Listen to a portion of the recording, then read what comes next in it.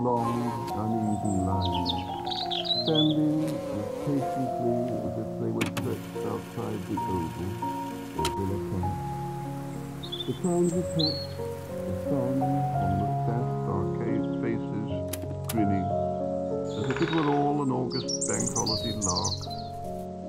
And the shut shops, the bleached established names on the sunblinds, the farthings and sovereigns, and dark-clothed children at play called after shoes and wheels. With advertisements for cocoa and twist, and the pubs wide open all day, and the countryside not caring. The place names all hazed over with flowering grasses, and fields shadowing Domesday lines under wheat's restless. The distance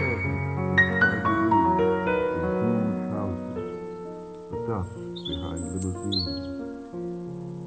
Never such innocence. Never